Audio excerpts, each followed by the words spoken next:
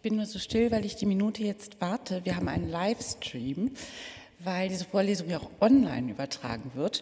Und deswegen warte ich jetzt noch genau eine Minute und dann geht es auch los mit der Begrüßung. Wir vermuten, dass viele Studierende, die sich auch angemeldet haben, wir hatten eigentlich eine Anmeldezahl von 58, dass die gedacht haben, das ist cum tempore, also mit einer Viertelstunde ähm, sozusagen Einlaufzeit, wie sie es gewohnt sind aus ihren Uni-Veranstaltungen.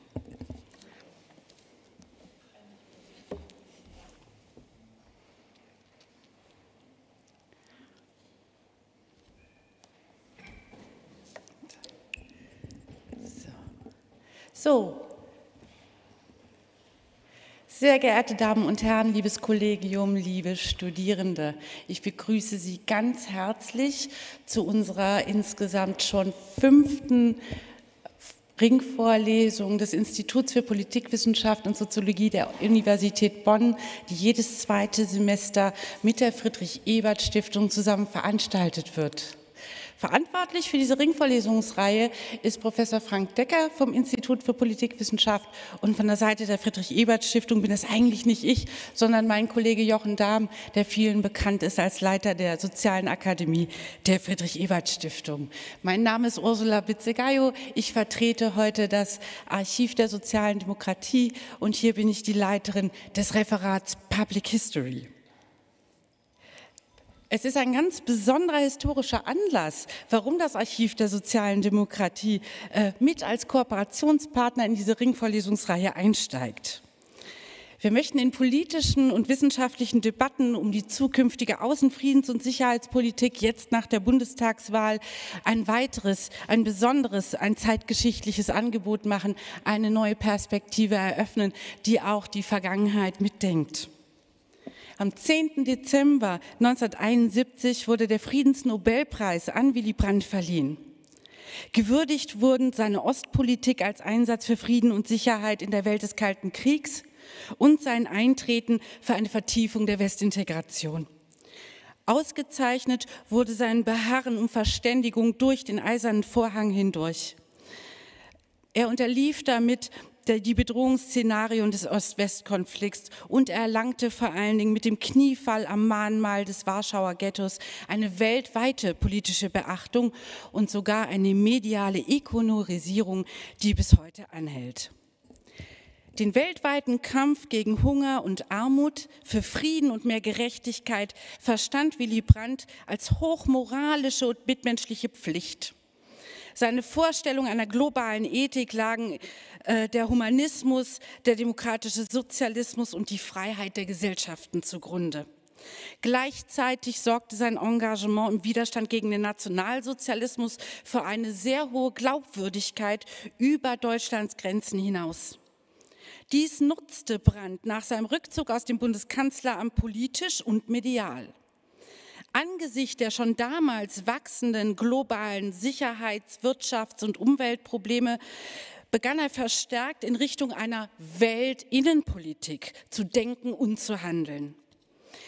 Im 21. Jahrhundert erfährt Weltinnenpolitik unter anderem im Programm der Global Governance und in Konzepten wie der Agenda 2030 mit ihren 17 Zielen ihre Weiterentwicklung. Sie umfasst dabei die Gesamtheit an Institutionen, Regelsystemen und Mechanismen, mit denen verschiedene Akteure globale Problemlagen diskutieren und entscheiden. Mit der Ringvorlesung stellen wir deshalb Fragen nach den, epochalen Entwicklungsstufen der Weltinnenpolitik und ihren politischen Manifestationen. Welche politischen und gesellschaftlichen Akteure haben sich Brandts Vorstellung der Weltinnenpolitik angeeignet und wie wird sie heute mit Blick auf die politische Sicherheit diskutiert? Welche historischen und aktuellen Ankerpunkte der Weltinnenpolitik finden sich in den Demokratien Europas und der Welt wieder?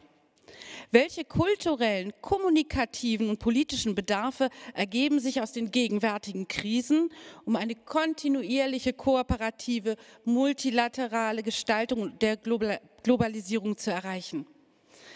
Wir freuen uns, mit Wissenschaftlerinnen und Expertinnen aus aller Welt in insgesamt acht Vorlesungen hierüber ins Gespräch zu kommen. Den politischen Referenzpunkt des Jubiläums bildet dann die Veranstaltung Friedenspolitik unserer Zeit am 8. Dezember diesen Jahres, die sich der Frage zuwendet, wie denn die soziale Demokratie den europäischen Friedensauftrag in einer unübersichtlichen Welt neu beleben kann. Heute Abend freue ich mich aber zunächst einmal, dass wir diese Auftaktvorlesung hier in Präsenz durchführen können und dass ich Sie hier persönlich treffe und es aber auch gleichzeitig möglich ist, die heutige Vorlesung online anzubieten. Insofern senden wir hier aus diesem Saal, dem Hörsaal 1 der Universität Bonn, ganz herzliche Grüße an das äh, Publikum im digitalen Raum. Herzliche Grüße soll ich Ihnen auch ausrichten von der Leiterin des Archivs der Sozialen Demokratie, Dr. Anja Kruke. Aktiv mitwirken an dieser Ringvorlesung wird auch unser Vorsitzender Martin Schulz. Äh, auch er richtet Ihnen die herzlichsten Grüße aus. Äh, ich freue mich, dass diese Kooperation wieder einmal zustande gekommen ist mit dem Institut für Politikwissenschaft und Soziologie der Universität Bonn, der auch ich, ähm, dem auch ich sehr verbunden bin als Lehrbeauftragte. Und ähm, ich begrüße ganz herzlich Manuel Becker, unseren Geschäftsführer, der sich bereit erklärt hat, diese Ringvorlesung auch einzuläuten, den Auftakt mit einer kleinen Begrüßung. Und nach der Begrüßung stelle ich Ihnen dann auch unsere beiden äh, ReferentInnen vor.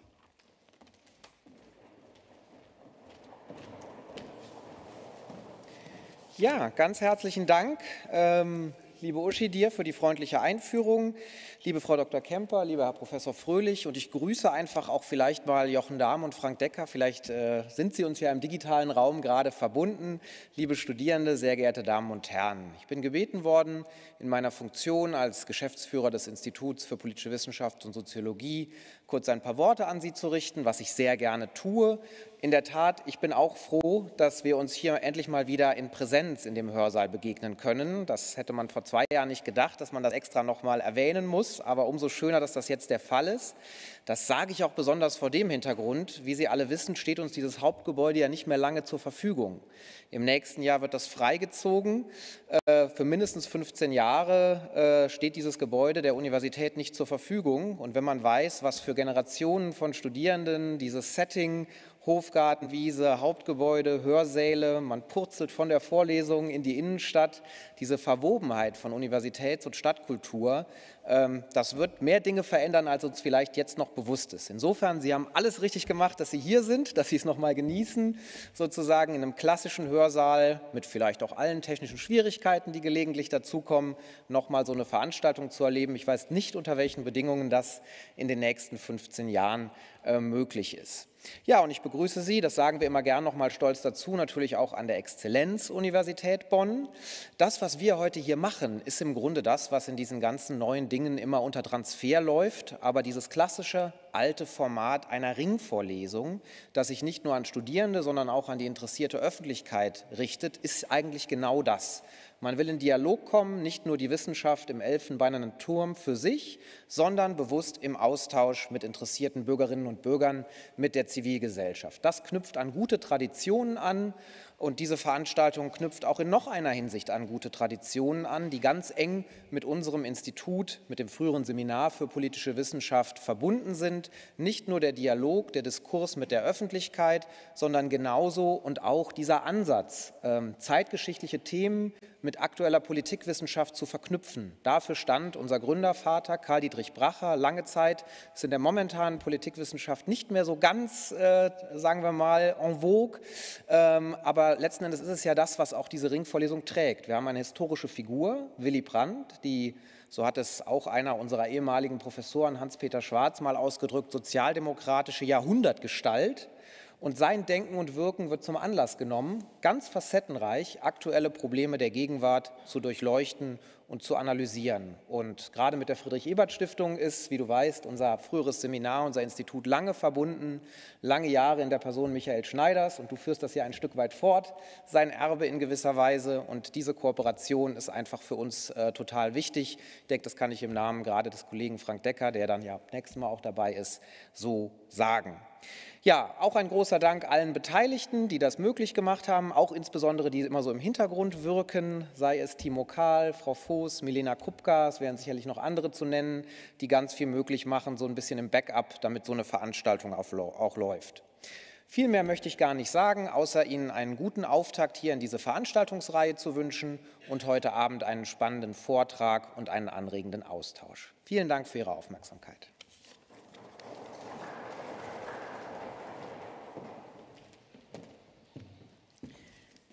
Freiheit von Furcht und Not, Konzepte und Herausforderungen menschlicher Sicherheit und Weltinnenpolitik. So ist der Titel des heutigen Vortrags äh, von Manuel Fröhlich, den wir gewinnen konnten, einen ersten Impuls über das Thema zu halten. Manuel Fröhlich ist Inhaber des Lehrstuhls für internationale Beziehungen und Außenpolitik an der Universität Trier. Zu seinen Forschungsschwerpunkten gehören die internationalen Organisationen und die Vereinten Nationen, Fragen der Globalisierung ähm, und der Global Governance sowie der politischen Philosophie und Ethik der internationalen Beziehungen. An der Universität Trier hat er einen sehr spannenden interdisziplinären Masterstudiengang hervorgebracht, internationale Beziehungen und Diplomatie. Manuel Fröhlich ist äh, Mitherausgeber der Zeitschrift für Politikwissenschaft, die sicherlich alle Studierenden im Saal sehr gut kennen, und ehemaliger Vorsitzender der Deutschen Gesellschaft für Politikwissenschaft. Er hat mehrere Ämter äh, in Vorstand und Forschungsrat der Deutschen Gesellschaft für die Vereinten Nationen wahrgenommen und gehört äh, dem Vereinten Nationen Politischen Beirat des Auswärtigen Amtes an. Sie merken schon, da haben wir eine ganz besondere Expertise für die Auftaktvorlesung ähm, anwerben können. Ins Gespräch geht er dann mit äh, Claudia Kemper. Sie ist Historikerin und seit 2021 Mitglied am Institut für Westfälische Regionalgeschichte des Landschaftsverbandes Westfalen-Lippe in Münster. Zu ihren Arbeitsgebieten zählen unter anderem die historische Friedens- und Konfliktforschung und Cold War Studies. Sie ist Vorstandsmitglied der Arbeitsgemeinschaft Friedens- und Konfliktforschung und war von 2013 bis 2018 Sprecherin des Arbeitskreises Historische Friedens- und Konfliktforschung. Sie habilitierte sich 2015 mit einer Arbeit über die äh, anti-atomare Friedensbewegung der 1980er Jahre und arbeitet schwerpunktmäßig zu NGOs, Friedensdebatten und Repräsentationen, Wissens- und Geschlechtergeschichte. Sie merken, wir haben ein ganz, ganz, eine ganz spannende Partnerschaft hier auf äh, unserem Podium heute zusammengebracht. Und ich möchte Ihnen ganz gerne, Herr Fröhlich, das Wort übergeben und freue mich danach auf den Dialog zwischen Ihnen beiden.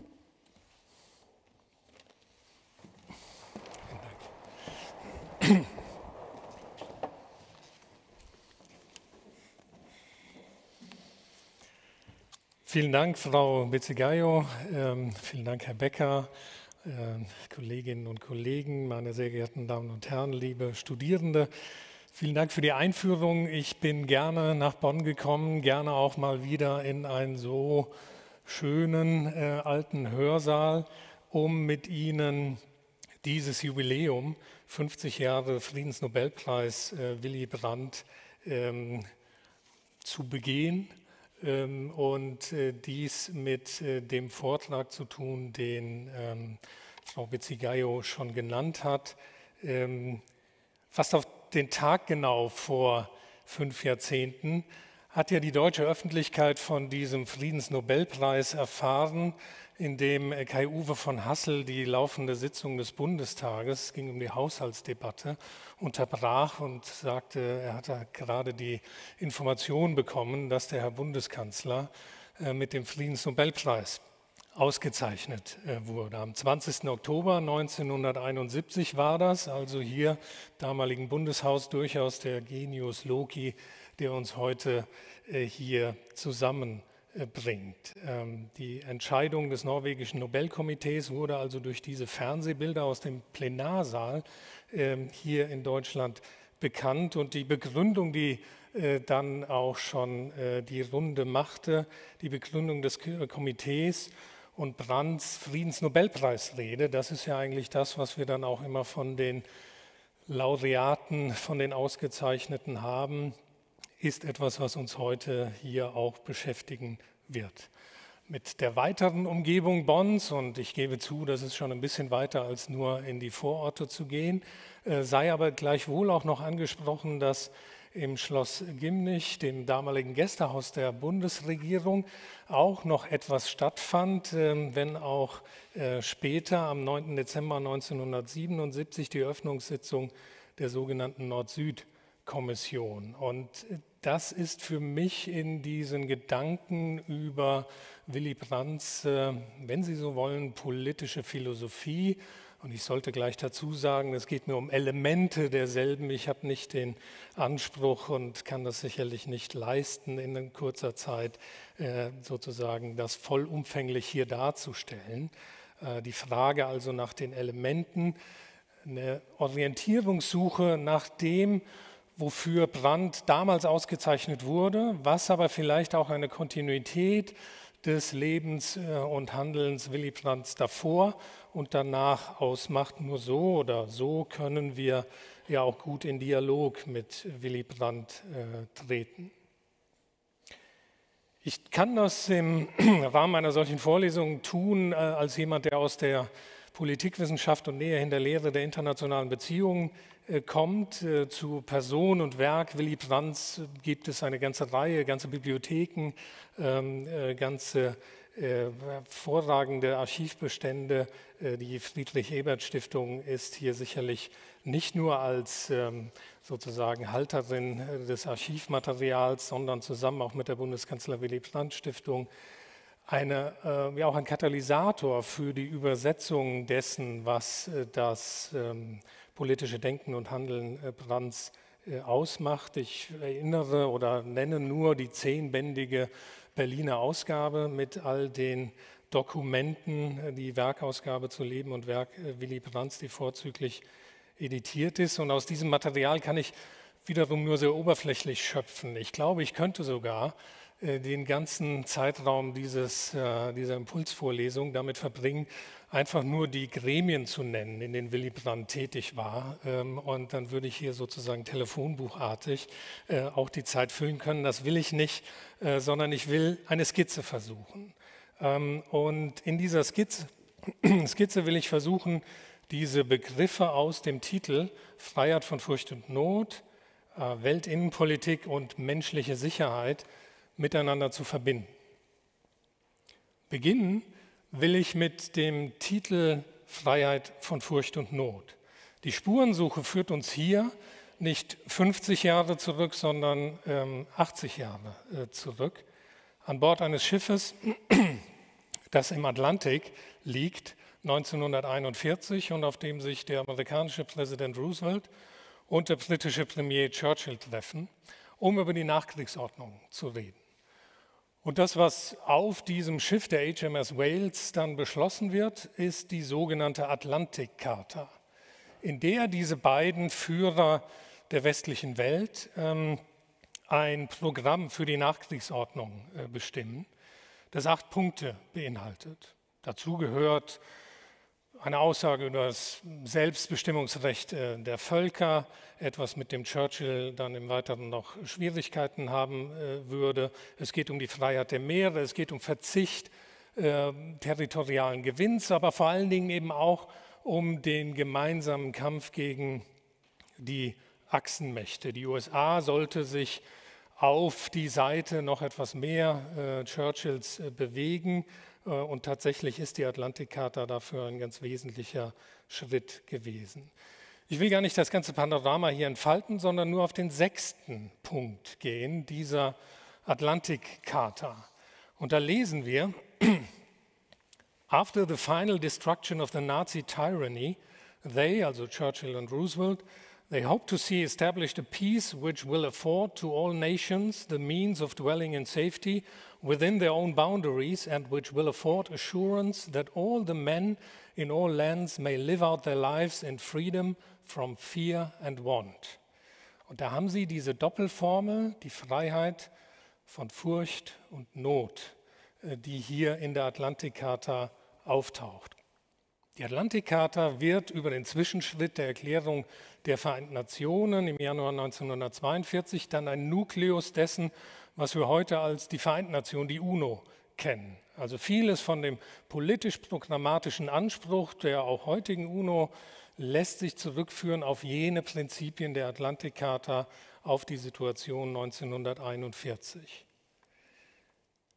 Dem einen oder der anderen ist es vielleicht auch schon aufgefallen, diese Freiheit vor Furcht und Not ist etwas, was nicht in der Atlantikcharta zum ersten Mal in das ähm, politische Vokabular der Zeit trifft, sondern äh, hat seine Prägung wesentlich in einer Rede Roosevelts äh, vor dem Kongress äh, gefunden, einer innenpolitischen äh, Rede, äh, in der er ähm, geworben hat, innenpolitisch für den Kriegseintritt, Querstrich eine weitere Beteiligung äh, der Vereinigten Staaten ähm, an den Auseinandersetzungen in Europa.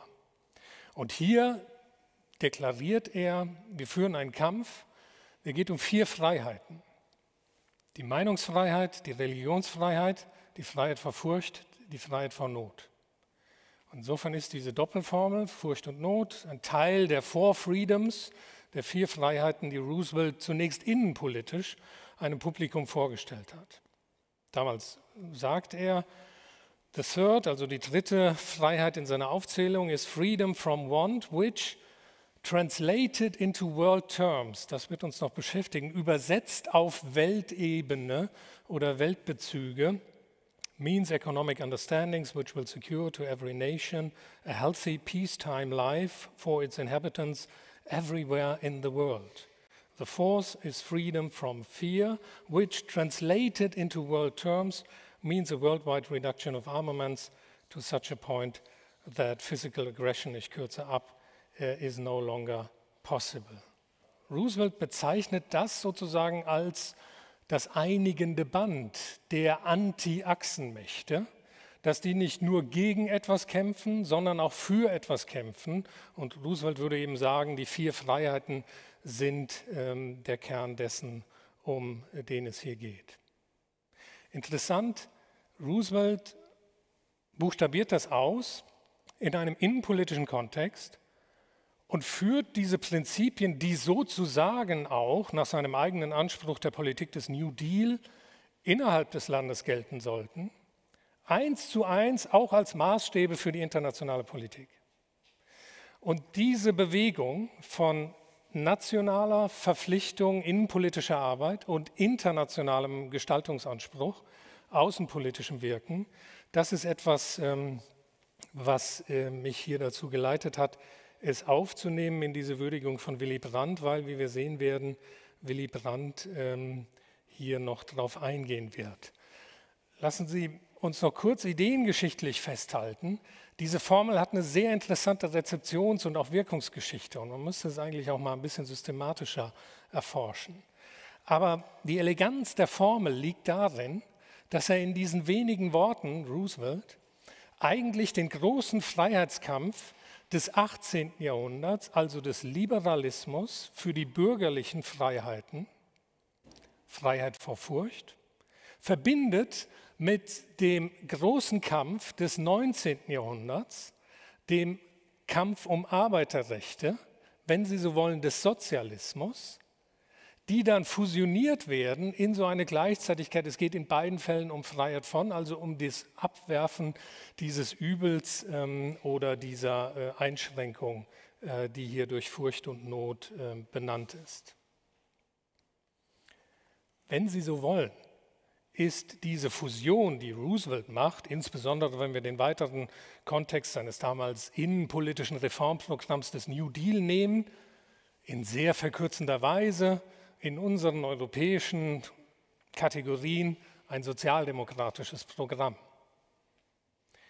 Es wird aber im Weiteren auch noch über eine solche Nähe, dann wiederum äh, zu dem, was wir mit Willy Brandt bereden würden, deutlich, ähm, dass hier etwas mehr angelegt ist.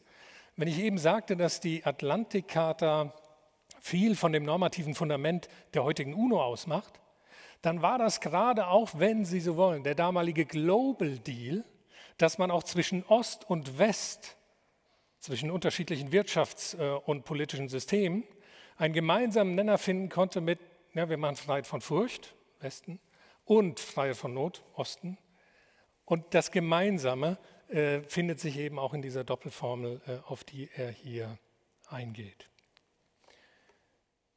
Diese sozialdemokratische Wurzel oder Quelle ist tatsächlich etwas, was ganz stark ähm, die Atlantikcharta prägt, was dann auch die UNO prägt, was dann die internationalen Beziehungen nach dem Zweiten Weltkrieg prägt. Andere Dinge kommen dazu. Hier kann ich wiederum nicht komplett äh, das vollständig auflisten, aber wir können die lange Tradition von Friedensrufen und Friedensplänen seit der Renaissance mit aufnehmen. Wir können die Verdichtung permanenter Gesandtschaften und diplomatischer Kongresse in der Neuzeit äh, hier mit aufnehmen. Die funktionalen Verwaltungsunionen, die Rheinkommission, die den Schifffahrt, äh, die, die Schifffahrt auf Flüssen äh, regelt. Ähm, aus Trier kommt, äh, weise ich immer darauf hin, äh, dass eine der ersten internationalen Kooperationen grenzüberschreitender Art ähm, im 19. Jahrhundert eben die Anti-Reblaus-Konvention war, dass man die Weinberge äh, vom Befall festhalten wollte, weil die Reblaus sich eben nicht an die Grenzen gehalten hat. Ähm, also wir hatten ein grenzüberschreitendes Problem und dann musste eine grenzüberschreitende Regulierung her. Organisierter Pazifismus wäre eine andere Quelle. Und insofern will ich das nicht verkürzen und sagen, oh, das ist jetzt die zündende Idee für äh, dann die weitere Neugestaltung der internationalen Beziehungen gewesen, aber es war eine wichtige äh, Idee für eine universale Weltorganisation. Was hat das nun mit Willy Brandt zu tun? Roosevelts Formel wurde von vielen Gruppierungen zeitgenössisch, aber auch nach dem Zweiten Weltkrieg immer und immer wieder aufgenommen. Insbesondere antikoloniale Bewegungen haben sich das auf die Fahnen geschrieben und haben gesagt, ja, wir fordern das ein, was eigentlich schon das Politikprogramm des Zweiten Weltkriegs war. Wir wollen eine Welt, die gekennzeichnet ist von Freiheit von Furcht und Not. Die Formel taucht bei Brandt in einem Text auf, den er koordiniert hat als Sekretär der Internationalen Gruppe demokratischer Sozialisten in Stockholm, also eigentlich im Exil aus Norwegen im März 1943, die Friedensziele der demokratischen Sozialisten. Und in diesem Text, Willy Brandt sozusagen ein bisschen federführend koordiniert, diesen Text, äh, da waren noch viele andere Gestalten aus der sozialdemokratisch-sozialistischen Bewegung beteiligt, gibt es einen eigenen Absatz zu den vier Freiheiten. Und wir lesen dort, Zitat, die, Demo, also die demokratischen Sozialisten, Zitat, erkennen vorbehaltlos Roosevelts ebenso einfache wie verheißungsvolle Programmerklärung an. Die Atlantikcharta, wiederum Zitat, wird nicht das letzte Wort der Demokratie sein können. Der eine oder die andere mag hier Willy Brandt schon ein bisschen raushören, äh, das so eine typische rhetorische Figur ist. Aber wir meinen, dass in ihr festgelegte Grundsätze, dass die in ihr festgelegten Grundsätze eine brauchbare Grundlage für die weitere Arbeit bilden. Die Probleme, die der Krieg aufgeworfen hat und die beim Friedensschluss gelöst werden müssen, sind nicht an Landesgrenzen gebunden. Sie müssen in einem internationalen Maßstab gelöst werden. Liest man also diese Sätze aus der Kriegszeit, so scheinen hier ein paar Elemente auf, die, meine ich, für das weitere Denken und Handeln Brands richtungsgebend sind. Es ist vielleicht kein roter Faden, aber es ist eine bemerkenswerte Kontinuitätslinie über Punkte, die mit dieser Synthese von Liberalismus und Sozialismus, die mit dieser eigentümlichen Deutung der Freiheit von also eigentlich der negativen Abwehrfreiheit als der positiven Gestaltungsfreiheit, etwas aufnimmt, was wir später im innenpolitischen Sprachgebrauch, aber auch in der Politik von Willy Brandt und auch der SPD im Übrigen sehen. Ja, 1959 im Godesberger Programm taucht die Freiheit vor Furcht und Not, wenn auch in einer kleinen Abwandlung, ähm, auch im Godesberger Programm auf. Also dieser Impuls, ähm, der lässt sich durch die Jahrzehnte hinweg ähm, nachvollziehen. Willy Brandt hat ihn sogar 1973 in der Regierungserklärung verwandt. Da ging es um die Qualität des Lebens der Menschen, das so, so ein zentraler Maßstab für die äh, Politik der äh, Regierung sein sollte. Ähm, und hier sagt Brandt, äh, diese Qualität des Lebens darf nicht zur abstrakten Formel gerinnen, Sie heißt für uns Freiheit auch Freiheit vor Angst und Not, Sicherheit, Sicherheit auch durch menschliche Solidarität. Und wenn Sie meinen, naja, das war dann vielleicht ein Zufall oder dann war dann eben mal dieses Blatt wieder auf seinem Schreibtisch, sodass das da reingefunden hat, füge ich gerne hinzu, die Abschiedsrede als Vorsitzender der SPD beim Parteitag in Bonn 1987 Brandt in einer viel zitierten Stelle, es wird immer der, die letzten beiden Sätze nicht so hinzugefügt für das Bonbon, wenn ich sagen soll, was mir neben dem Frieden wichtiger sei als alles andere, dann lautet meine Antwort ohne Wenn und Aber Freiheit. Die Freiheit für viele, nicht nur für die wenigen. Freiheit des Gewissens und der Meinung, auch Freiheit von Furcht und Not. So stand es zu einem frühen Zeitpunkt, das immer noch Brand, des Zweiten Weltkriegs, übrigens in der Atlantikcharta, die ich damals nicht nur als ein Instrument der psychologischen Kriegsführung verstehen mochte. Und das finde ich ist ein schöner Bogen. Also wir sehen von dieser frühen Exilschrift bis zu diesem Moment, wo er aus dem Vorsitzendenamt in der SPD ausscheidet, eine Art von Credo, was an diese persönliche Glaubensbekenntnisnatur dessen heranreicht, was wir auch bei Roosevelt äh, gesehen haben. Die Freiheit von Furcht und Not waren bei ihm kein nur wohlklingender Slogan, sondern er hat versucht, damit ein Zielhorizont und Auftrag von Politik zu definieren, auf der nationalen wie auf der internationalen Ebene. Das ist diese Denkfigur, die sozusagen ähnlich ist wie bei Roosevelt. Es sind dieselben Werte, die Gestaltung von Innenpolitik wie von Außenpolitik leiten sollten. Und das führt uns jetzt über zu dem zweiten Begriff der Weltinnenpolitik. Willy Brandt hat diesen Begriff nicht erfunden. Die wichtige Prägung des Begriffes ist sicherlich Karl Friedrich von Weizsäcker zuzuschreiben, der 1963 in der Rede, als er den Friedenspreis des deutschen Buchhandels erhält, das zu einer starken Aussage macht. Ich kann auch hier nicht auf Einzelheiten des Begriffsverständnisses bei äh, von Weizsäcker eingehen. Auch er war natürlich wesentlich motiviert durch die Erfahrung der Katastrophe und des Leidens, aber auch der persönlichen, nicht nur Betroffenheit, sondern auch Involviertheit in das, was den Zweiten Weltkrieg ausgemacht hat. Und Weltinnenpolitik wird bei ihm zum unabweisbaren Imperativ jeglicher politischer Gestaltung. Weizsäcker formuliert, der Weltfriede ist nicht das goldene Zeitalter, sondern sein Herannahen drückt sich in der allmählichen Verwandlung der bisherigen Außenpolitik in Weltinnenpolitik aus. Unter dem Titel Weltinnenpolitik werde ich hier zwei verschiedene, aber beide aus der Vereinheitlichung, Vereinheitlichung der Welt entspringende Phänomene beschreiben. Die Entstehung übernationaler Institutionen und die Beurteilung weltpolitischer Probleme mit innenpolitischen äh, Kategorien. Hier findet sich etwas, was eine Nähe zu Willy Brandt aufzeigt. Ich würde allerdings sagen, dass Willy Brandts Verwendung des Begriffs Weltinnenpolitik weniger davon gekennzeichnet war, dass er nun in der Herausbildung internationaler Organisationen, in denen und für die er sich ganz stark sicherlich äh, engagiert hat.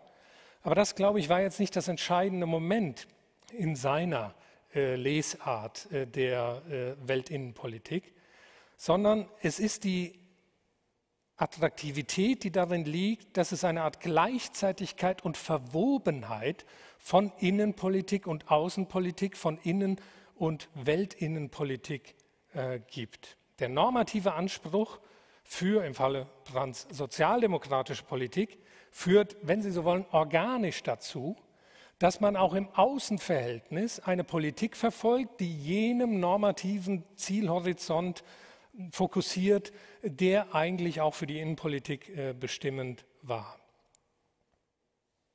Das ist ganz interessant, weil ich damit sagen würde, wir dürfen uns das vielleicht bei Willy Brandt gar nicht so vorstellen, als sei Weltinnenpolitik ein Entwicklungssprung in der Zivilisation oder Menschheitsgeschichte, nachdem wir jetzt also eine gesättigte Art von bisheriger Innen- und Außenpolitik gehabt hätten, kommt jetzt was Neues, eine ganz neue Art von Politik, sondern es ist diese Gleichzeitigkeit, diese Verwobenheit dieser beiden Ebenen, äh, die er ganz stark macht.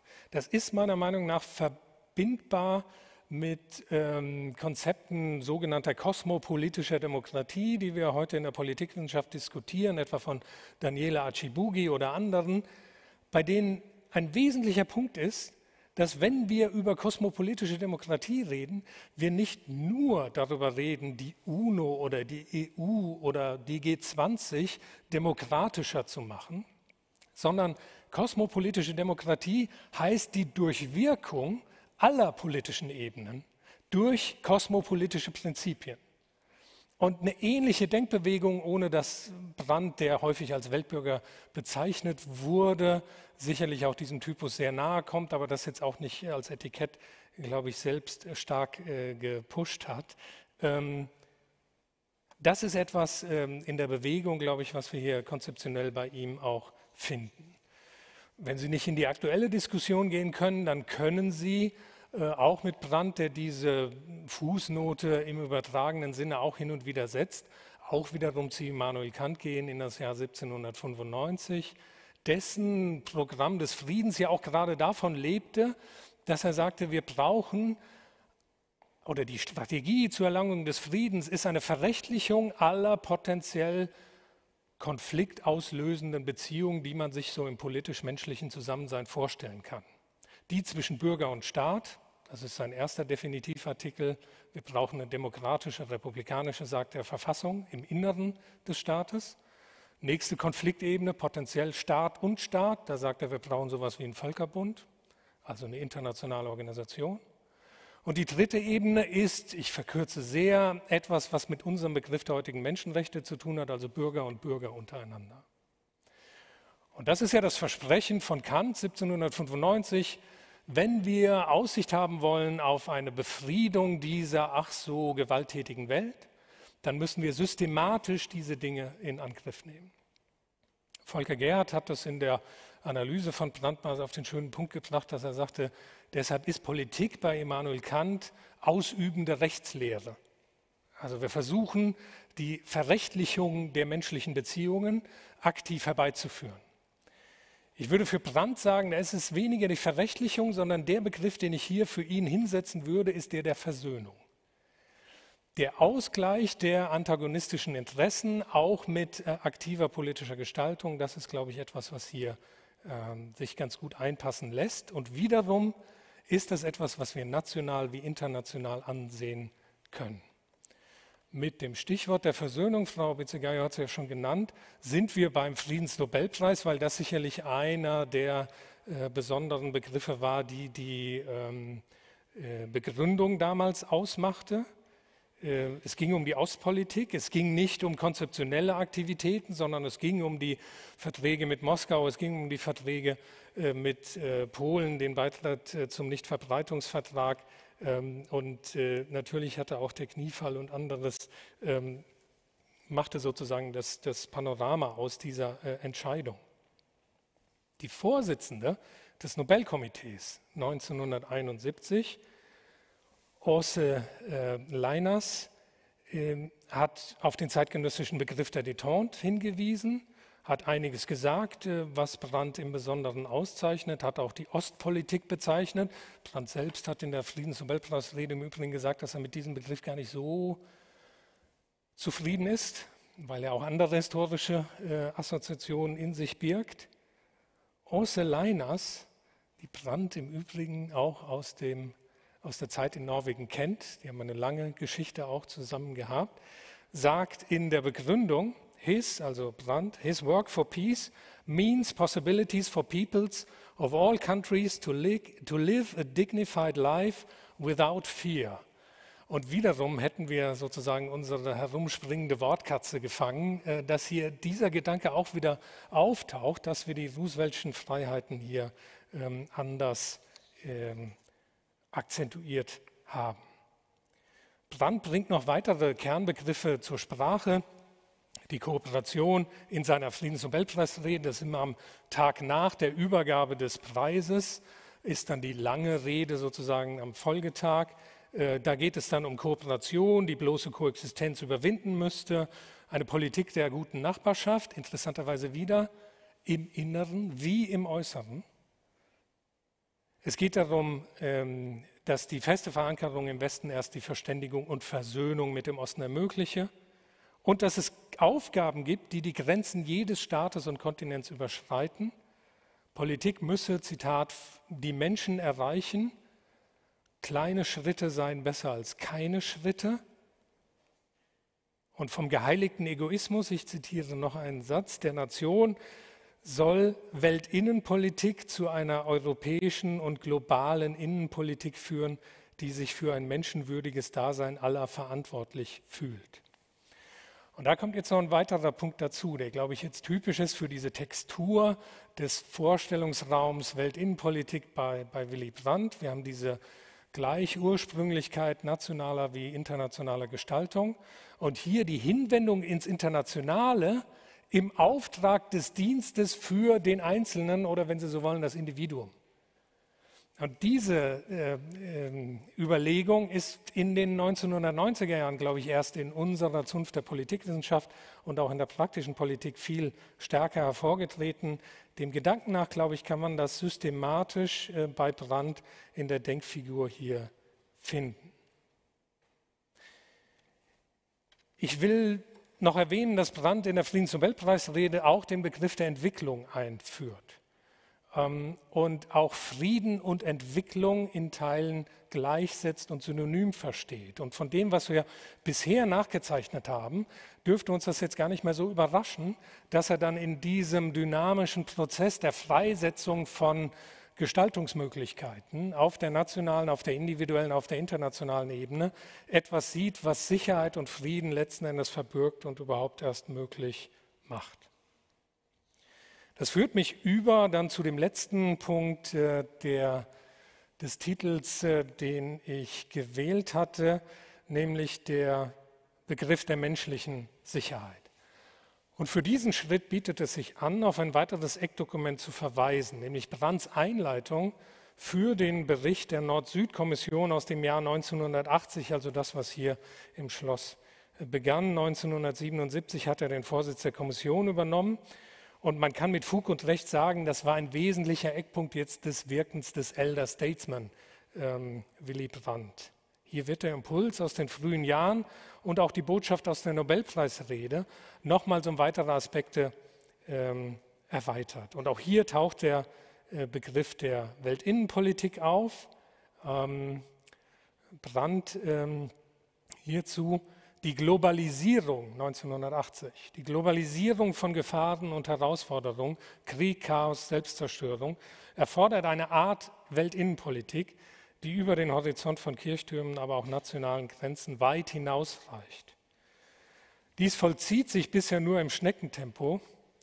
Weithin herrscht ein defensiver Pragmatismus vor und dies in einer Zeit, in der die wahren Interessen der Menschen und der Menschheit neue Perspektiven und weitsichtige Führung erfordern. Das, was man internationale Gemeinschaft nennt, auch für die Politikwissenschaft in den internationalen Beziehungen ein wichtiger Begriff, ist immer noch zu sehr abgeschnitten von der Erfahrung der einfachen Leute.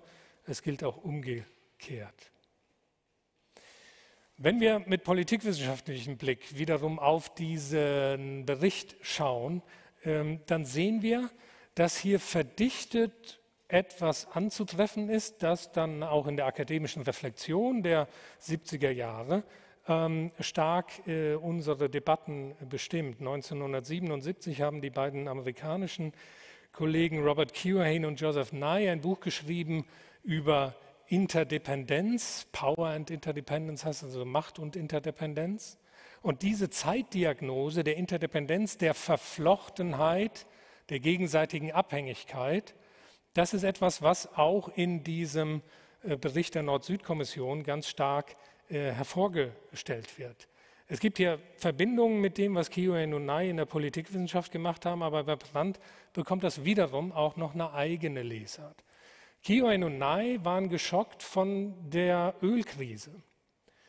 Das hat sie dazu gebracht zu sagen, in einer solchen Situation wirtschaftlicher Abhängigkeit sind auf einmal all diese schönen Raketensilos gar nicht mehr so viel wert. Wir können damit nicht unsere Sicherheit gewährleisten, wenn uns die ökonomische Sicherheit ähm, sozusagen abgedreht wird im wahrsten Sinne des Wortes. Und insofern war Power and Interdependence der Versuch, durchaus die amerikanische Vormachtstellung neu auszutarieren. Bei Brandt ist, geht es um Entwicklung und Lebenschancen einzelner Menschen bzw. die Verweigerung derselben. Auch er nimmt das Ökonomische in den Blick, spricht aber insbesondere von Hunger oder wie er dann häufiger in den letzten Jahren sagt, der Welthunger, um den es geht und der anzupacken sei. In politikwissenschaftlicher Sicht haben wir also mit dem Bericht der Nord-Süd-Kommission zwei Dinge, die wir bis heute diskutieren, wenn Sie etwa über den erweiterten Sicherheitsbegriff äh, in den Nachrichten hören äh, und dessen, was das heute als politische Praxis bedeutet. Wir haben eine horizontale Erweiterung des Sicherheitsbegriffs. Sicherheit ist nicht mehr nur die Panzer und Raketen, nicht mehr nur der militärische Bereich, sondern daneben steht der ökonomische. In den 80er Jahren wird wiederum durch eine Katastrophe, nämlich Tschernobyl, der ökologische dazukommen.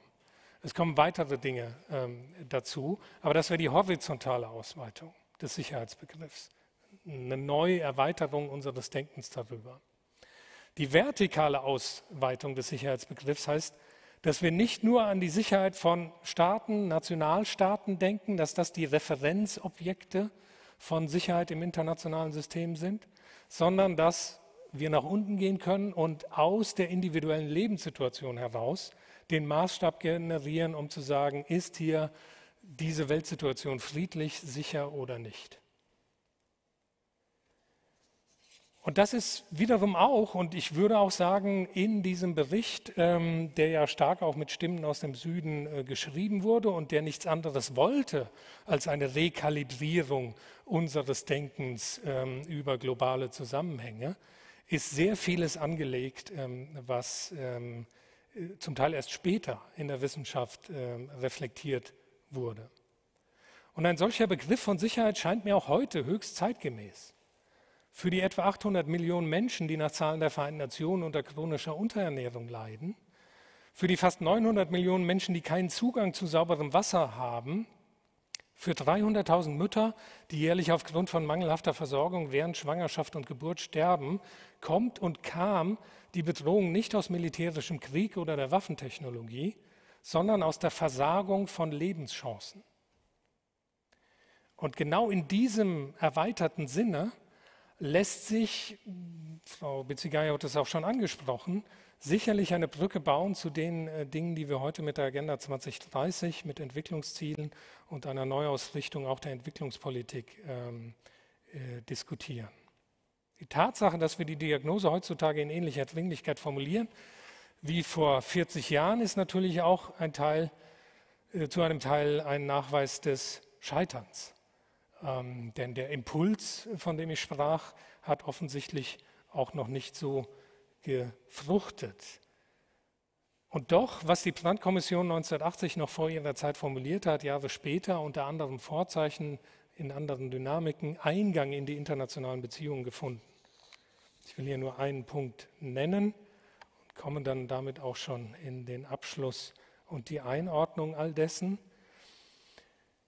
Das UNO-Entwicklungsprogramm, UNDP, äh, die Organisation der Vereinten Nationen, die sich mit Entwicklung im Besonderen beschäftigt, gibt einen Bericht über menschliche Entwicklung ähm, heraus und hat dies ähm, 1994 in einer sehr doktrinären Art und Weise getan, weil in diesem Bericht der Vereinten Nationen gesagt wird, wenn wir heute über Entwicklung reden, dann müssen wir den Menschen umfassender uns anschauen als nur in der Vermeidung von gewalttätigem Überfall. Die Sicherheit von Menschen konstituiert sich danach in wirtschaftlicher Absicherung, in sicheren Nahrungsmitteln, in der Bewahrung der Gesundheit, im Schutz der den Menschen umgebenden Umwelt, im Respekt vor kulturellen Gemeinschaften, in der Sicherung politischer Rechte und auch in dem, was dann der Bericht auch nennt, Personal Security, das ist die letzte von insgesamt sieben Dimensionen menschlicher Existenz und Sicherheit, die 1994 vom UNO-Entwicklungsprogramm sozusagen als Leitperspektive für die Gestaltung der internationalen Politik vorgegeben werden. Können wir gerne äh, diskutieren, wie das zu verstehen ist oder welche Wirkung das im Weiteren gezeitigt hat oder wo die Beziehungen dort äh, liegen. Für den Moment will ich nur sagen, wollten wir jetzt diese sieben Dimensionen wiederum auf eine elegante Formel bringen, dann könnte man vielleicht sagen Freiheit von Furcht und Not. Wenn man diese tiefen Dimensionen mitdenkt, ähm, die wir bei Brand jetzt herausgearbeitet haben. Ich kann neben den Millennium-Entwicklungszielen die 2015 nicht umfassend erreicht, aber in die Annäherung gebracht wurden, der Agenda 2030, auch auf solche Dinge verweisen wie einerseits die Etablierung des Internationalen Strafgerichtshofs, wo auf einmal individuelle Strafverfolgung für individuell zurechenbare und adressierte Groß- und Massenverbrechen äh, möglich ist in Den Haag. Oder wir reden auch über die sogenannte Responsibility to Protect, die Schutzverantwortung der internationalen Gemeinschaften für Menschen, die in Staaten leben, deren, deren Regierung entweder nicht willens oder nicht fähig ist, diese Menschen zu schützen. Mit all der Ambivalenz, ähm, die uns auch aktuelle Beispiele hier vor Augen führen. Ich will, meine Damen und Herren, und damit möchte ich schließen, hier keine Teleologie aufbauen. Dass Brandt irgendwann mal diese geniale Idee hatte und dass er immer vor den anderen war mit dieser Idee äh, und dass wir eigentlich heute immer noch äh, genau nur das machen müssten, was er da gesagt hat. Ich glaube, das würde Brandt nicht gerecht werden. Es würde ihm auch nicht gerecht werden, weil er die Dynamiken und das Politische äh, solcher Prozesse immer wieder sehr stark betont hat und in der geschichtsphilosophischen Deutung vielleicht die Dialektik ähm, solcher Prozesse besonders hervorheben würde, aber dass er beileibe nicht von so einer Zwangsentwicklung äh, ausgehen würde, die uns dann in eine solche neue Situation bringen würde. Im Brandbericht fehlen auch noch viele Dinge. Die Umweltproblematik taucht noch nicht so auf, wie wir das heute verstehen. Das war damals im Wesentlichen eine Frage der Ressourcenverteilung. Die Frage dessen, was wir heute über ähm, Gender, das, was wir heute über äh, wirklich eine Öffnung politischer Rechte äh, in einem ganz substanziellen Sinne diskutieren, auch noch sehr äh, verhalten. Entwicklungsvorstellung, es war schon noch eher die Vorstellung, na im Wesentlichen werden wir uns alle irgendwie modernisieren. Brandt hat das zwar abgelehnt, dass es nur ein Entwicklungsmodell gibt, aber damals war das schon die Vorstellung, dass es über entsprechende auch gesamtwirtschaftliche äh, Effekte dann zu einer Anpassung der Staaten untereinander kommen würde. Die Liste der globalen Herausforderungen ließe sich erweitern. Pandemie, Digitalisierung, das ist natürlich alles nicht auf der Tagesordnung gewesen. Und dennoch, glaube ich, könnte man ein paar Brücken bauen. Denn Brandt hat gesprochen über das, was wir heute als Global Public Goods, also globale öffentliche Güter, äh, bezeichnet hat. In unserer Skizze taucht er als jemand auf, der Konzepte nicht unbedingt erfindet, der sie aber mit einem bemerkenswerten Sensorium aufnimmt integriert, prägt, ihnen Kraft und Nachdruck verleiht. Brandt hat diese Konzepte repräsentiert, er hat sie manchmal personifiziert. Und mit Blick auf den Kniefall in Warschau und andere Dinge könnte man auch sagen, ja, er hat sie manchmal auch verkörpert. Und es braucht, auch dazu haben wir in der politikwissenschaftlichen Forschung einiges jetzt an Ergebnissen, es braucht diese Persönlichkeiten, die diese Dinge äh, so aufnehmen und weitertragen. Brandt war sich stets bewusst, dass Wandel und Bewegung immer die Mitwirkung vieler braucht. Wäre jetzt auch viel noch über Weggefährtinnen und Gefährten zu reden. Fortschritt und Rückschritt bestimmen beide die Dynamik des Politischen. Es braucht einen langen Atem und ständige Bemühungen, um langfristige Ziele zu erreichen.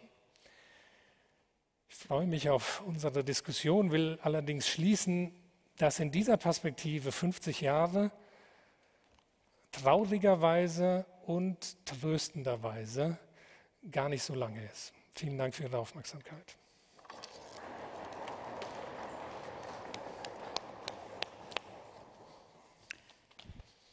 Vielen Dank, Herr Fröhlich, für ähm, diesen wahrsten Sinne des Wortes Parforce-Ritt von der Mitte des Zweiten Weltkrieges bis in die Gegenwart. Und ich finde, es ist sehr schön deutlich geworden, also weil Sie haben ja so ein Narrativ uns angeboten, das äh, vom Freedom from Want Narrativ, also wie sich das durch die zweite Hälfte des 20. Jahrhunderts zieht. Und ich fand es auch nochmal sehr wichtig und eindrücklich, dass Sie zum Schluss gesagt haben, also nochmal Brand charakterisiert haben als die Person, die das verkörpert, auf eine besondere Art und Weise verkörpert hat. Ähm, das finde ich, eine, einen sehr greifbaren, guten Zugang zu diesen doch etwas schwierig zu greifenden Konzept der Weltinnenpolitik. Ähm, Sie haben ja im Mittelteil versucht, das zu charakterisieren, was Brandt im Unterschied zu von Weizsäcker darunter verstanden hat. Und da wird es ja dann schon schwierig, das in Kategorien zu fassen, sondern es ist ja mehr so auch eine, ähm, ein, ein, eine Konstellation, ein Formzustand eher als ein politisches Konzept. Ähm, also soweit gehe ich sehr gerne mit mit Ihrem Vortrag. Ähm, wenn ein politikwissenschaftlicher Vortrag äh, einen halbstündigen Parforce-Ritt durch die zweite Hälfte des 20. Jahrhunderts anbietet, dann ist das natürlich gleichzeitig auch eine wunderbare Gelegenheit für uns HistorikerInnen, zu, das zu tun, was wir äh, immer so gerne tun, ähm, zu sagen, hm, das war eventuell etwas komplizierter an der Stelle und vielleicht nicht ganz so eindeutig. Sie haben es zum Glück selbst auch schon eingefangen zum Schluss gesagt, Sie wollten keine Teleologie bieten, sondern ähm, eher rückschauend zu versuchen, also wo sind die Kontinuitätslinien. Ich, ich, ich fange mal an, ich versuche es auch mal chronologisch, so viel Historikerin bin ich ja, dann schließlich an der Stelle, als Sie ganz am Anfang versuch, äh, charakterisiert haben, wie diese, diese Idee Freedom for Want in die Welt kam, also als, eine, als quasi ein Verteidigungskonzept gegen den Faschismus in äh, ähm, den führenden westlichen Staaten, vor allem den USA und Großbritannien, ähm, haben Sie ja betont, wie das auch die ideelle Grundlage der UN geworden ist und so eine verbindende Idee geworden ist, wo sich dann auch Ost und West treffen konnte, auf so einer doch auch entpolitisierten Figur, Freedom from Want. Also da steckte ja erstmal ganz wenig Ideologie dahinter. Natürlich, Freiheit äh, ähm, ist natürlich ein urwestlicher Begriff gewesen, aber er ist ja hier in so einem Kontext als, als Basis genutzt worden, damit man mal ins Gespräch kommt, Ost und West. Aber ist das nicht schon eine extreme Idealisierung von dem, was die UN dann während des Kalten Krieges in der Lage war zu leisten? Also Natürlich war es eine Anschlussmöglichkeit für die Sowjetunion mit äh, dem Westen ins, äh, also eine gemeinsame Bühne zu nutzen. Aber war das nicht doch auch ein starkes Labeling für dann doch einfach nur eine, wie soll ich sagen, diplomatische Begegnungsplattform UN? Ich muss es mal so formulieren.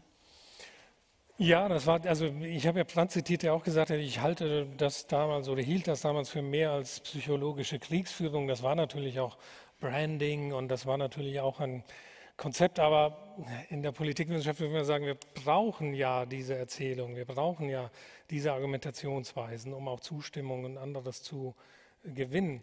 Ich glaube, eine Antwort auf Ihre Frage wäre, dass dieses Programm eher Potenzial und weniger Realität ist oder der Grad, zu dem es nur Anspruch und dann wirklich nicht Umsetzung ist, ist darin auch zu erkennen, dass dann die Vereinten Nationen oder unter dem Dach der Vereinten Nationen getrennt nach der Allgemeinen Erklärung für Menschenrechte ein Pakt für bürgerliche und politische Rechte und ein Pakt für wirtschaftliche und soziale Rechte verabschiedet wurde. Das heißt also, um, um das mal als ein Faktum zu nehmen oder als ein Ereignis zu nehmen, schon da war man, obwohl man an, an genau dem Punkt saß, sich darüber zu verständigen, was soll denn die die, die, normative Basis für unser, ja auch international dann als Gestaltungsanspruch zu formulierendes, ja auch Menschenbild sein. So war auch die Experteninvolvierung damals, darum ging es damals.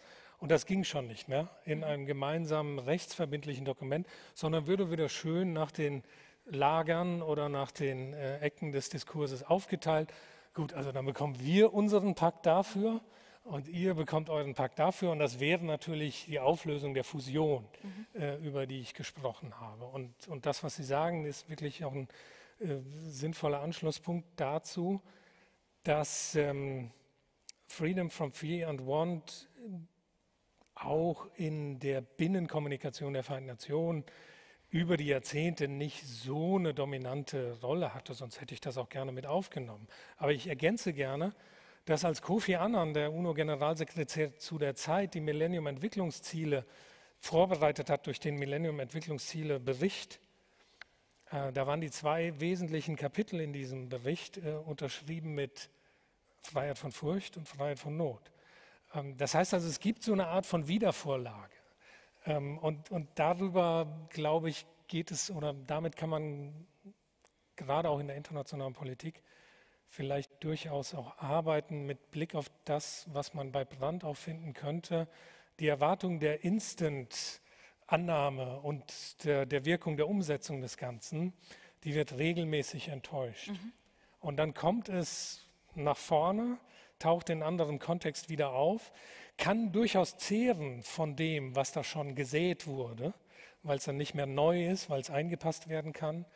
Ähm, aber das wäre eine zu starke Teleologie zu sagen, das war damals das Programm und schon nahm der Dampfer der Vereinten Nationen Fahrt auf und hat dieses Programm umgesetzt. Ähm, das ist ähm, in der Phase ähm, des Kalten Krieges und der Auseinandersetzung stark belastet gewesen. Da half im Übrigen auch nicht mehr viel, dass Want dabei war. Freedom war schon so antagonistisch besetzt, äh, dass es jetzt für die offizielle Doktrin der Vereinten Nationen nicht Politik gestaltet mhm. wurde. Freiheit war ja der äh, Idealbegriff, idealisierte Begriff des Westens. Also das war insofern, habe ich auch den Eindruck, dass bei diesem Konzept ganz viel auch Selbstkonstruktion oder so eine Identitätskonstruktion des Westens dahinter steckt. Freedom from want, freedom ja. from fear.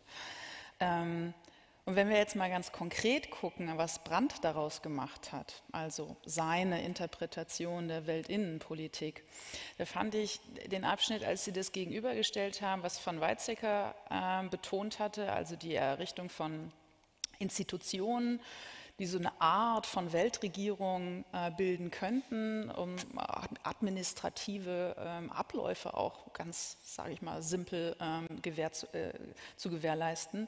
Und Brandt was ganz anderes darunter verstanden hat, eher so was Kosmopolitisches, wo sich Grenzen auflösen zwischen Innen- und Außenpolitik. Das fand ich sehr eindrücklich. Und ich habe den Eindruck, dass aber von Weizsäckers äh, Konzept der Weltinnenpolitik sehr, sehr viel äh, tauglicher gewesen wäre ähm, zur Umsetzung als das, was Brandt sich da vorgestellt hat, Anfang der 70er. Was komplett fehlt in den, fehlte in den Überlegungen von Brandt, jedenfalls in dem, so wie Sie es charakterisiert haben, ist die Rolle von Nationalstaaten, weil die haben ziemlich was dagegen, wenn die ähm, Grenzen zwischen Außen und Innen aufgelöst werden, ähm, weil sie damit nämlich vor allen Dingen ihre Souveränität äh, verlieren. Das ist ja bis heute das große Problem in der internationalen Politik.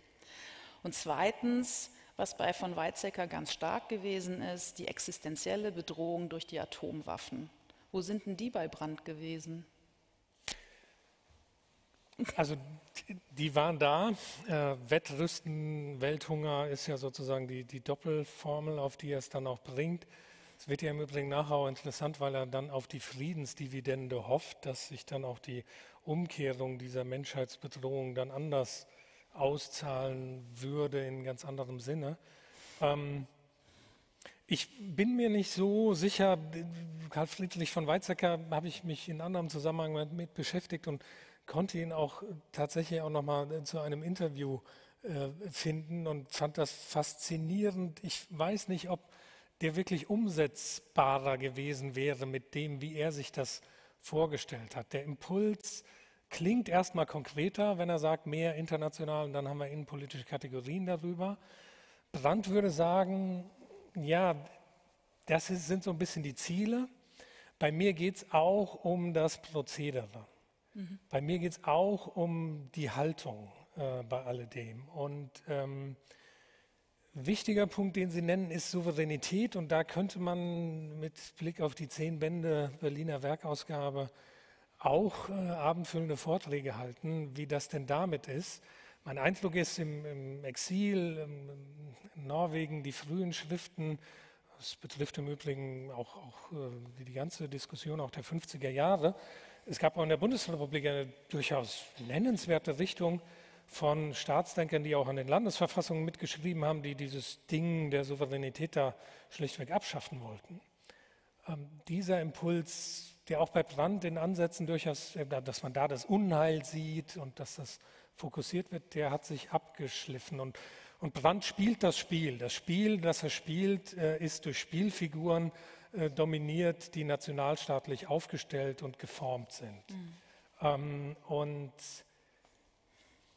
diese Appelle an den gemeinsamen Konsens und die Aussöhnung, dass man doch irgendwie miteinander auch auskommen muss, ähm, das ist etwas, was, ähm, glaube ich, Ihnen sowohl innenpolitisch wie auch außenpolitisch, deshalb so Stichwort Versöhnung, äh, dazu kommt, ähm, dann nimmt. Äh, aber dieser Punkt auch der Gesichtswahrung äh, des anderen und der Nichtüberforderung, das ist vielleicht der Punkt, des Nichtmarkierens auch von Zielvorstellungen und Erwartungen, die eindeutig über das von ihm auch als realistisch erkannte Handlungsspektrum hinausgehen würden. Mhm.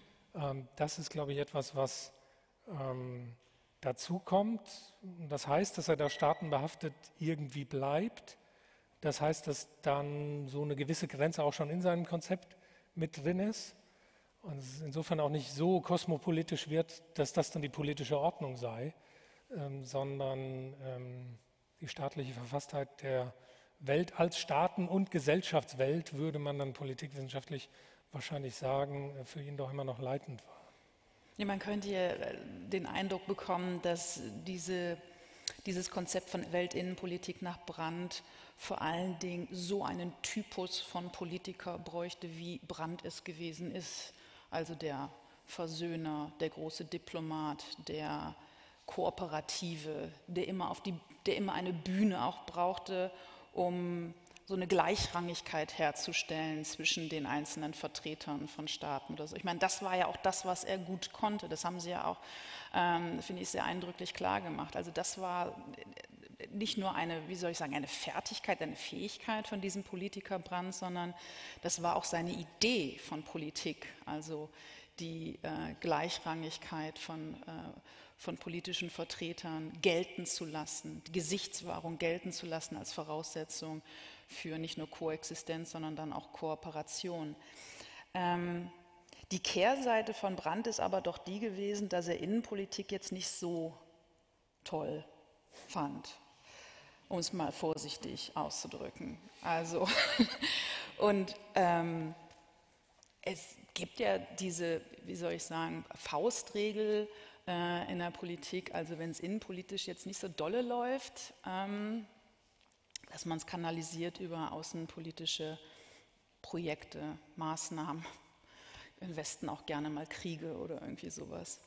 Ähm, und es ist ja schon doch auffällig, dass in der Zeit, als Brandt äh, weltinnenpolitische Konzepte und überhaupt, sage ich mal, die vielen Initiativen entwickelte, die dazu geführt haben, auch das, was er dann in den 80er Jahren gemacht hat, in einer Zeit stattfand, als sich die Bundesrepublik äh, massiv auf verschiedene Großkrisen zubewegte, also ab Anfang der 1970er Jahre. Also angefangen von der ökonomischen Krise bis zu veritablen innenpolitischen Krisen, die, ähm, bis hin zu parteiinternen Krisen, also wo ähm, die, die, die, die, die, die sage ich mal, die goldene Zeit von Brandt äh, dann also auch nach eigener Aussage äh, seines Staatssekretärs ja vorbei war. Also ähm, mit nach den Neuwahlen 1972. Äh, wie viel Innenpolitik, wie viel Kompensation, wie viel Versuch ähm, über die Außenpolitik auch Innenpolitik zu gestalten, steckte in Brandts außenpolitischen Konzepten, weltinnenpolitischen Konzepten der 70er Jahre oder Anfang ja bis Mitte der 70er Jahre. Das ist auch eine äh, spannende Frage, die wahrscheinlich auch eine sehr differenzierte Antwort braucht. Aber ich versuche auch hier wiederum nur so ein paar Elemente ähm, vielleicht anzuführen, die ich hier mobilisieren würde. Das eine ist, glaube ich, dass für ihn jetzt auch in der politischen Sozialisation, Innen- und Außenpolitik durch die Berliner Erfahrung immer ganz stark auch verwoben waren. Also es war äh, als die, die Bürgermeistersituation in, in, Berlin war schon eine außenpolitische äh, Rolle. Ähm, und alle Entscheidungen in Berlin hatten wiederum vom Passierscheinabkommen bis zu allen anderen Sachen, es hat alles mit äh, Außenpolitik zu tun.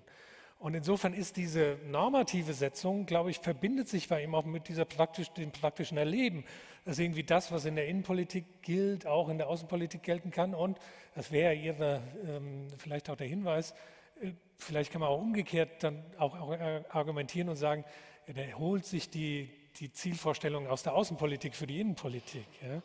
Dann ist es dann nicht eine Weltinnenpolitik, sondern eine Innen-Außenpolitik mhm. oder wie man das dann bezeichnen würde. Ja?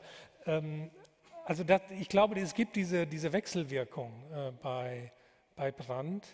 Ähm, ich weiß nicht, ob es kompensatorisch ist. Ähm, was ich sagen würde, ist, dass für die Innenpolitik in Vergleichbarkeit zu dem außenpolitischen Wirken der Reformbegriff halt eben der zentrale ist und weniger der Revolutionsbegriff. Und wenn wir auf die Außenpolitik schauen, dann werden Sie selbst auch in dem Wirken in der sozialistischen Internationale, wo er weniger eigentlich hätte Rücksicht nehmen müssen auf das staatliche Gegenüber im protokollarischen Rang, gleichwohl etwas zurückhaltend war, wenn es darum ging, für Dissidenten äh, öffentlich, öffentlich einzutreten, hat unheimlich viel auch geleistet hinter den Kulissen. Aber diese ähm, die Reformpolitik, insbesondere der, der ersten äh, Regierung Brandt äh, und auch das, ja auch Pathos, mit dem das in der ersten Regierungserklärung vorgetragen wurde, das ist höchst kompatibel mit alledem und wäre jetzt, glaube ich, auch nicht so auf der kompensatorischen Ebene gewesen.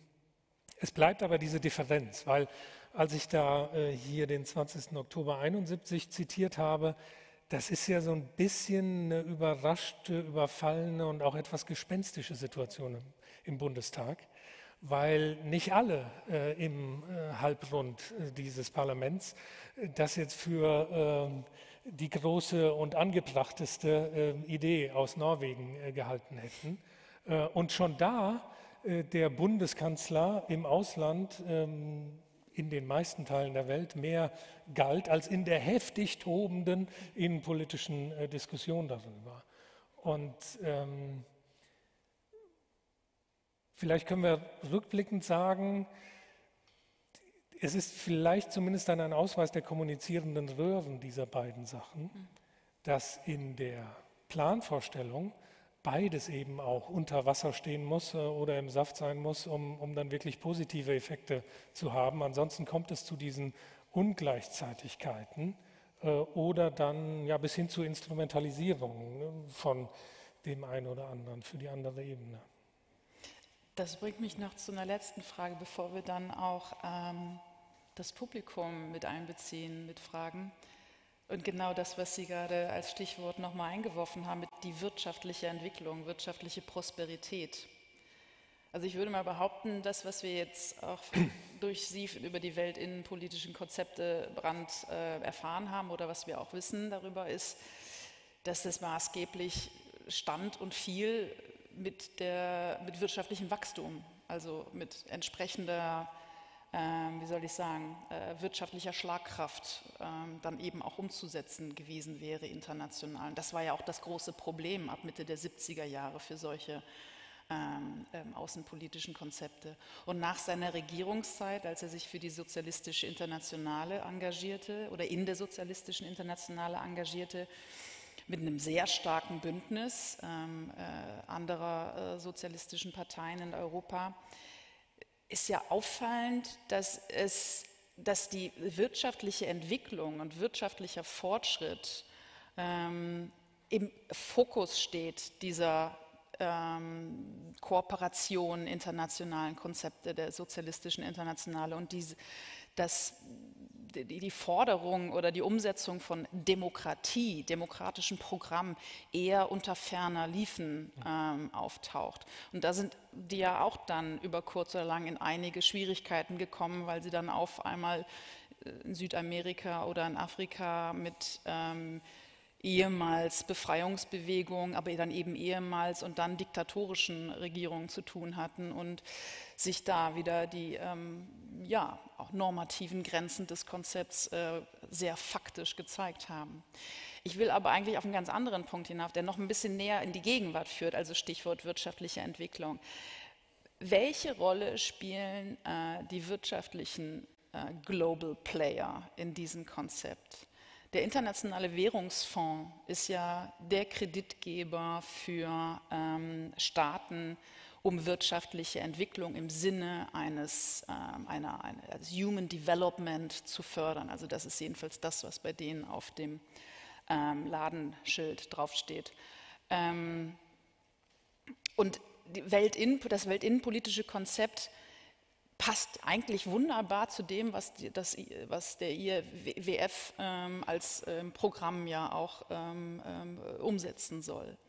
Ähm, gleichzeitig wird dem IWF aber nachgesagt, dass er ja dafür sorgt, durch seine teils auch sehr martialischen äh, ähm, Sparprogramme, die er dann den einzelnen Staaten aufdrückt, die sozialen Sicherungssysteme aufzulösen. Also irgendwie beißt sich da die Maus irgendwie in den Schwanz äh, oder die Katze, glaube ich. Nee, nicht die Maus, die Katze. Ähm, wo, also das einerseits mit wirtschaftlicher Förderung ähm, äh, der Fortschritt ähm, ähm, äh, gefördert werden soll, und damit auch die menschliche Sicherheit in den entsprechenden Staaten, gleichzeitig aber über die Hintertür immer wieder ähm, davon ein Stück weggenommen wird, weil nur der wirtschaftliche Fortschritt ähm, dann wiederum ähm, ähm, auf, der, auf der Agenda steht. Also wenn wir die Weltinnenpolitisch, wenn wir die Weltinnenpolitik nach Brand in die Gegenwart transponieren und gucken, was ist daraus geworden, ist es nicht eine Pervertierung geworden? Das würde bedeuten, dass wir tatsächlich eine Umsetzung davon hätten. Ja. Und die ist dann eben nicht dementsprechend, was eigentlich intendiert war. Ich würde denken, dass es doch noch mehr Fragmentierung in dem gibt, was die heutige Weltlage ausmacht, mehr gleichzeitiges, ungleichzeitiges, ähm, dass ähm, so eine eindeutige Diagnose für die Welt, in der wir leben heutzutage, vielleicht noch nicht und auch nicht universal, sondern vielleicht allenfalls regional oder politikfeldspezifisch ähm, ermöglicht. Aber es ist bei diesem Gang durch die Jahrzehnte, geht natürlich dann einiges verloren und äh, manche Antworten werden nicht gehört und dann werden sie Jahre später gehört und falsch verstanden und dann haben sich die, hm, die Fragen verändert. Ähm, da kommt natürlich einiges zusammen. Ich würde das teilen in der Tendenz. Der Nord-Süd-Bericht hat ähm, sehr viel Kritik auch an einheitlichen Entwicklungsmodellen, wie ich sagte, aber aus heutiger Sicht mit Blick auf postkoloniale Sichtweisen, mit Blick auf Local Ownership, mit Blick auf ähm, ja, Capabilities Approach, aber äh, das, was als Livelihood bezeichnet wird, so Ansätze finden sich da. Aber wir würden heute da anders drüber reden und es war tatsächlich noch ein bisschen getragen von das Hauptproblem ist, wir müssen das besser verteilen. Die einen haben zu viel, die anderen haben zu wenig. Und dennoch war ja historisch gesehen der Club of Rome davor und hat äh, die Grenzen des Wachstums äh, auch schon aufgezeigt. Ähm, deshalb ist es vielleicht schwer ähm, da zu fassen. Ich glaube, das Problem ist heute schwieriger geworden und würde unterstreichen, dass eine losgelöste wirtschaftliche Entwicklung unter Auslassung der Freedom from Fear, wenn man so will, ähm, tatsächlich nicht zielführend ist. Fußnote, es sei denn, das, was die Volksrepublik China und andere globale Akteure heute machen, wird irgendwann doch erfolgreich sein. Weil das vielleicht ein ähnlicher ähm, Ansatz ist, der aus dieser äh, Richtung äh, da kommt. Aber wir haben nicht diese komplette Umsetzung. Wir haben aber in einem Dokument, wie zum Beispiel auch der Agenda 2030, aber die ja schon im Vergleich zu der 2015 Agenda der Millennium-Entwicklungsziele oder 2000er Agenda auch noch mal mehr den Wert gelegt hat auf politische Rechte, Teilhaberechte ähm, über diese wirtschaftlichen ähm, Dinge hinaus. Das war sicherlich so eine Befangenheit noch der, der Zeit, das sah dort anders aus. Und ja, das war auch noch mal stärker und führte ja dann auch zu revolutionären Umstürzen, weil sozusagen die Skandalisierung der wirtschaftlichen Ungleichheit mhm. Ähm, noch andere Kanäle und, und anderen Kontext hatte damals. Mhm. Das stellt sich heute alles etwas anders dar. Ich, ich schaue ins Publikum, ähm, ob es Fragen gibt. Die würden wir dann gerne dazu holen. Es gibt ein Mikro, das zur Verfügung steht, in das Sie hineinsprechen können. Sonst frage ich einfach weiter. Bitte schön. Ähm, warten Sie kurz auf das Mikro, kommt, glaube ich, von der Seite. Schauen Sie mal. Ja, ich heiße Rainer Stepphun und äh, bin vor der Willi-Wahl 1972 in die SPD eingetreten. Es ist für mich auch ein äh, unheimlich wichtiger Mensch. Und äh, ich möchte aber auf das äh, eingehen, was Sie äh, zum Schluss gesagt haben. Es hat sich alles weiterentwickelt, die Umweltproblematik kam dazu äh, und so weiter und so fort. Und da möchte ich mal für eine Charta werben, nicht die Atlantikcharta, sondern die Erdcharta. Ich weiß nicht, wer da schon mal was von gehört hat. Kann man im Internet nachlesen. Ist eine unheimlich wichtige Sache. Müsst ihr euch mal angucken. So, und dann gibt es in äh, unserer Zeit einen Menschen, der spricht auch genial, wie es der Wille getan hat. Und man höre und staune, es ist Papst Franziskus, die katholische Kirche, der wir so viel Kritik entgegenbringen in so vieler Hinsicht, hat einen Menschen hervorgebracht, der unheimlich Wichtiges zu sagen hat. Guckt euch bitte die Enzykliken an, Laudato Si, ne, das wäre mal interessant. Ja, vielen Dank. Also bitte mal ins Internet gucken. Dankeschön. Ich, es gibt eine zweite Frage.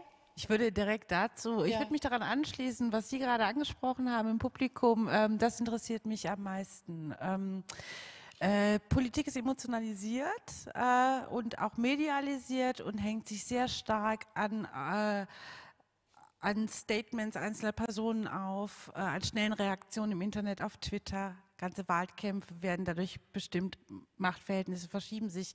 Das ist ein Zeichen dafür, dass Politik auch ähm, nicht nur emotionalisiert ist, sondern auch äh, Ikonen hervorbringt immer wieder, beziehungsweise Influencer. Ja. Brauchen wir, äh, um sozusagen äh, Friedenskonzepte transnational zu entwickeln, brauchen wir so äh, Influencer, äh, die auch Pop-Ikone sind, hinter der man Friedens- und Sicherheitskonzepte versammeln kann, die weltweit dann auch wahrgenommen werden, weil sie mit einer bestimmten Person verbunden werden.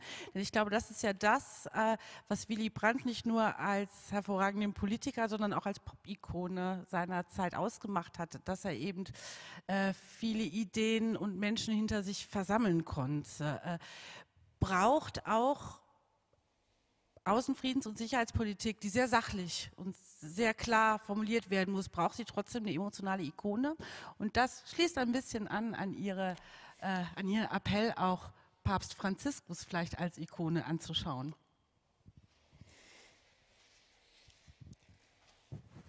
Also der, der Influencer, das ist ein interessanter Gedanke und ich denke, das, was Brandt hier vorexerziert hat, auch mit dem Bericht der Nord-Süd-Kommission etc., äh, die Erdkarte und das, was Sie benennen, auch die Weltkonferenzen, das waren ja also erste Gehversuche in diesem Format. Ja, und es ist uns zumindest geblieben, äh, dass es diese Art von intellektueller Verdichtung gibt, dass es auch ein, unterschiedliche Papiere und Berichte und all das gibt. Ähm, und äh, dieses Bewegungsmuster mit anzustoßen in der internationalen Politik ist sicherlich auch ein Verdienst von, ähm, von, von Willy Brandt. Und dann sind wir auf der diplomatischen Ebene bei dem, was wir dann in der Politikwissenschaft als Celebrity Diplomacy bezeichnen, also die Zelebritäten, die Promis, die irgendwo stehen. Und ich habe jetzt auch schon die ersten Sachen gesehen, wo es dann darum geht, ja, das ist doch eigentlich auch ein Influencer gewesen da also man kann sich jetzt äh, Willy Brandt schwerlich vor dem Ringlight beim Unboxing der Nord-Süd-Kommission oder so vorstellen. Ähm, aber das, was dahinter ist, ist vielleicht nicht ganz so elegant und gegenwärtig formuliert. Das, was wir in der Politikwissenschaft dann als Normunternehmerschaft bezeichnen würden. Jemand, der als Person mit durchaus widerspenstigem Verhalten versucht, den etablierten Konsensus ähm, zu drehen und dafür ähm, eben etwas ähm, zu tun. Und ich glaube, mit den üblichen Analysekategorien, die wir dafür haben, da kann man Henri Dunant mit, äh, wie dann auf einmal das Rote Kreuz auf den Schlachtfeldern auftaucht, oder all diese Dinge, wo Dinge, die vorher nicht mitgedacht waren oder die jetzt aus einer ganz anderen Perspektive gedacht werden, dann neu ähm, angesehen werden. Und ja, da könnte man eigentlich auch mal Abschlussarbeiten drüber vergeben, inwiefern äh, Willy Brandt dann in eine solche Kategorie äh, einzubringen wäre. Ich, es braucht, glaube ich, diesen, diesen Anspruch, weil wir medial ähm, eine Art von globaler Wahrnehmung haben, die nochmal eine spezielle Art von auch emotionaler Ansprache braucht, die dann regionale, kulturelle und etablierte Grenzen sozusagen in der Botschaft auch überwinden kann. Politikwissenschaftlich würde man auch wieder schnell sagen, deshalb braucht man ein Netzwerk irgendwie von diesen Leuten. Aber von dem, was Sie sagen, würde mich das am ehesten so in die, in die Normunternehmerschaft. Und das ist kein Blabla.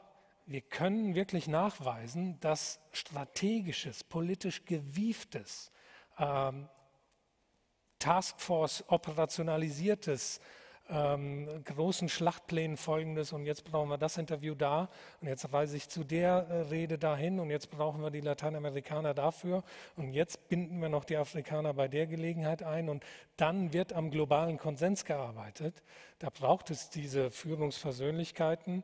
Brandt hat schon 77 gesagt, der Bedarf ist hoch, das Angebot ist niedrig.